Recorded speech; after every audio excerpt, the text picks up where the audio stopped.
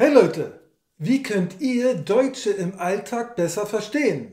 Genau das schauen wir uns jetzt mal an. Los geht's! Wie ihr garantiert schon wisst, gibt es manchmal einen großen Unterschied zwischen dem, was ihr in der Schule lernt und dem, wie die Deutschen dann in der Realität sprechen. Und genau diese Kleinigkeiten, die ihr kennen müsst, schauen wir uns jetzt in diesem Video mal ganz genau an. Beginnen wir mit lockeren Begrüßungen und Verabschiedungen. In der Alltagssprache hört man selten Guten Tag oder Auf Wiedersehen. Stattdessen nutzen die Leute diese Alternativen. Beginnen wir mit den Begrüßungen. Hey, na, was geht oder wie läuft's? Schauen wir uns dazu mal zwei kleine Beispielkonversationen an. Hey, Hey, wie läuft's? gut, danke. Und bei dir? Alles bestens. Na, was geht? Nicht viel. Und bei dir? Auch nicht viel. Was machst du später?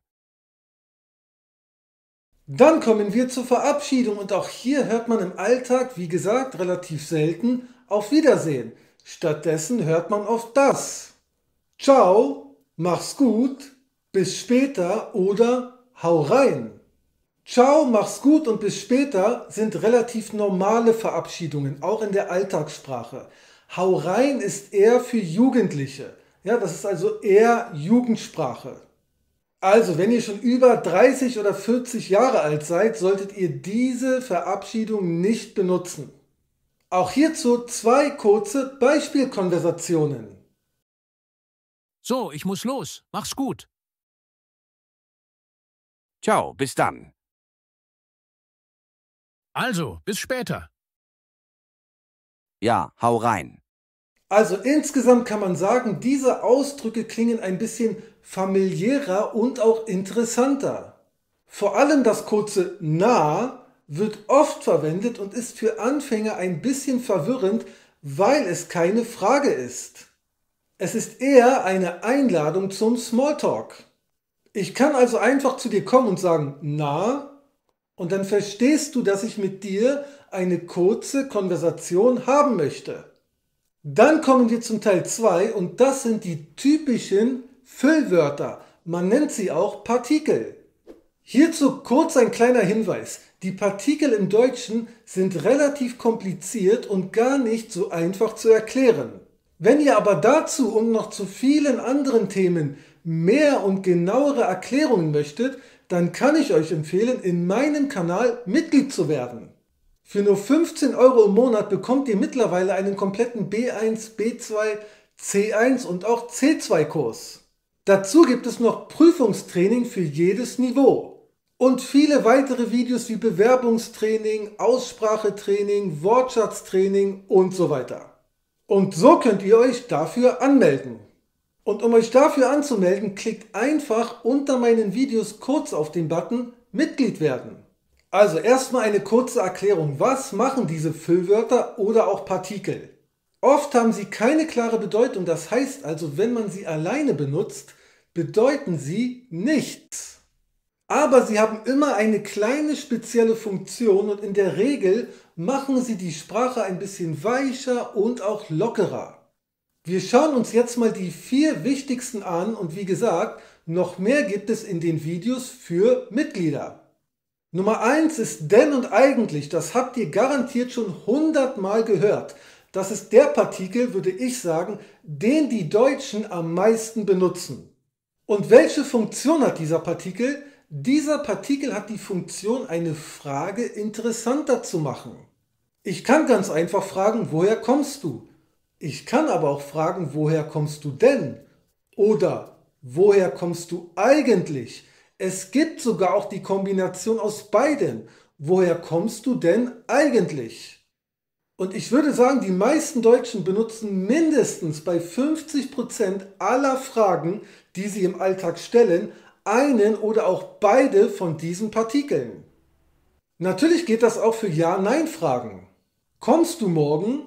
Kommst du denn morgen? kommst du eigentlich morgen oder auch kommst du denn eigentlich morgen? Kurzer Hinweis, wenn ihr beide zusammen benutzt, ist es immer denn eigentlich, niemals eigentlich denn. Dann haben wir den Partikel doch und doch benutzen wir in der Regel, um eine Aussage zu verstärken. Ich habe doch gesagt, dass du das nicht machen sollst. Oder er meinte doch, dass er keine Zeit hat. Hier machen wir die Aussage, er meinte ein bisschen stärker. Dann haben wir mal und den benutzen wir auch super häufig. Damit machen wir eine Frage oder eine Aufforderung ein bisschen höflicher. Ich kann fragen, kannst du mir den Stift geben? Ich kann aber auch fragen, kannst du mir mal den Stift geben? Und das klingt dann ein bisschen weicher und höflicher. Ich kann sagen, mach das Fenster zu. Ich kann aber auch sagen, mach mal das Fenster zu. Auch das klingt wieder ein bisschen weicher und höflicher. Als viertes haben wir dann den Partikel eben und eben drückt immer so ein bisschen Resignation oder auch Pessimismus aus. Das Leben ist eben nicht einfach.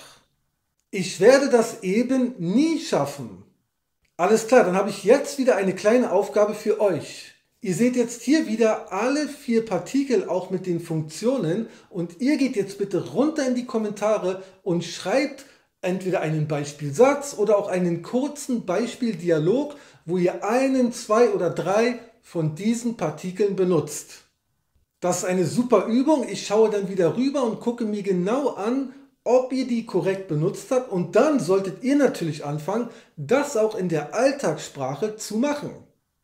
Dann kommen wir zum dritten Teil und das ist Umgangssprache bei Emotionen. Das heißt, wie drücken wir Emotionen in der Umgangssprache aus? In der Alltagssprache benutzen wir oft kurze Ausdrücke, um Emotionen zu beschreiben.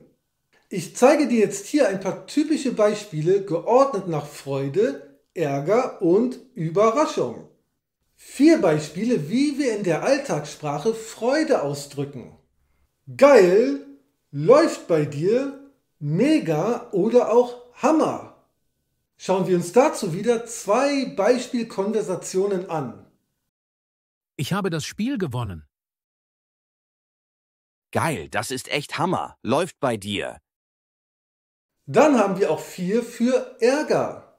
Mensch, Mist, na toll oder auch so ein Käse. Ja genau, wenn wir Deutschen uns ärgern, sagen wir manchmal so ein Käse. Auch hierzu wieder kurz zwei Beispieldialoge. Mein Zug hat schon wieder Verspätung. Mensch, das ist ja echt Mist. Dann haben wir noch die Emotion Überraschung und auch dazu schauen wir uns vier Ausdrücke aus der Alltagssprache an. Krass, ach du meine Güte, was und nicht dein Ernst. Auch die versteht man wieder am besten, wenn man sie in einem Dialog lernt. Deshalb auch hier für euch zwei Beispieldialoge. Ich habe gestern 100 Euro auf der Straße gefunden. Krass. Nicht dein Ernst, oder?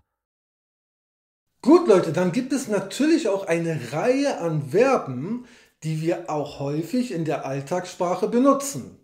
Und ich habe mal die zehn wichtigsten für euch rausgesucht, die ihr ab jetzt auch benutzen könnt, Schrägstrich, solltet.